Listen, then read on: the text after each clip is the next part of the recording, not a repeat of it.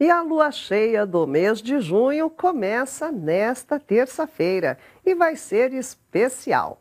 É a superlua de morango. E se você não sabe o que significa esse termo, não se preocupe. Entenda agora.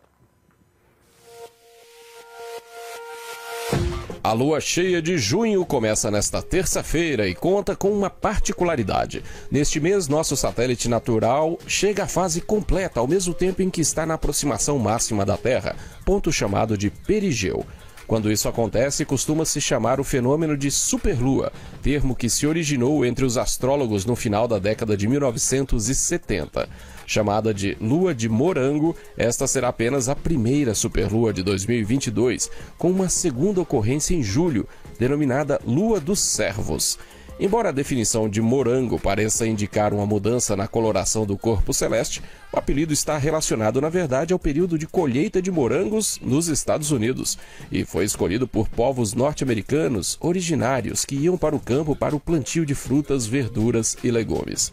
Já julho marca a época em que crescem os chifres dos servos machos. Por isso, a lua cheia do sétimo mês do ano é a lua dos servos. Vale lembrar que o fato de estar no perigeu faz com que a Lua pareça maior. Ela, obviamente, não aumenta de tamanho. Segundo estimativas da NASA, durante esse período de aproximação máxima com a Terra, a percepção da Lua cresce 14% em relação ao apogeu, que é o ponto mais distante da órbita, chegando a ficar até 30% mais brilhante.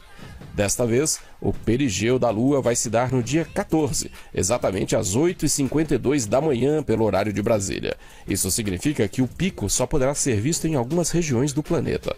No entanto, especialistas apontam que por volta das 8h30 da noite desta terça-feira, ela ocupará uma posição favorável para ser vista do Brasil, estando 99,5% iluminada. Se o céu estiver nublado ou o frio desanimar a sair de casa, é possível acompanhar tudo pela internet. O Virtual Telescope Project, um serviço prestado pelo Observatório Astronômico Bellatrix, que tem sede em Roma, na Itália, vai realizar uma transmissão em tempo real a partir das 4h15 da tarde no YouTube. De quebra, será possível ver a constelação de Escorpião e a supergigante vermelha Antares, posicionados logo acima da Lua.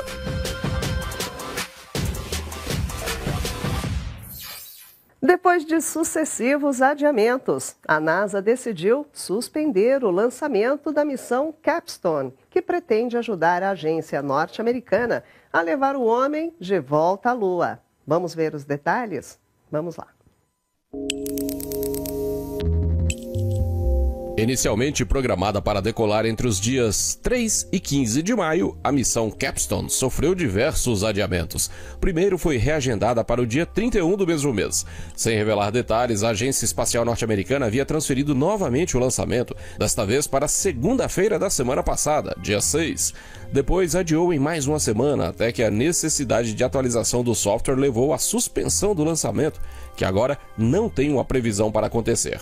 Ainda que não seja diretamente ligada ao programa Artemis da NASA, a missão vai ajudar a agência nos processos que precedem o momento de levar seres humanos de volta à Lua, o que deve acontecer entre 2025 e 2026. Com as dimensões próximas às de um forno micro-ondas, a espaçonave Capstone vai verificar a estabilidade de uma órbita circular quase retilínea ao redor da Lua, modelando o que a futura pequena estação espacial Gateway vai seguir com os astronautas a bordo.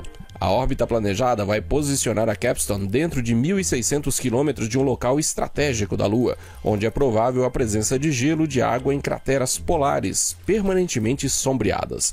O objetivo secundário da missão é avaliar sistemas de navegação e comunicações de naves espaciais com o LRO da NASA, que circula a Lua desde 2009.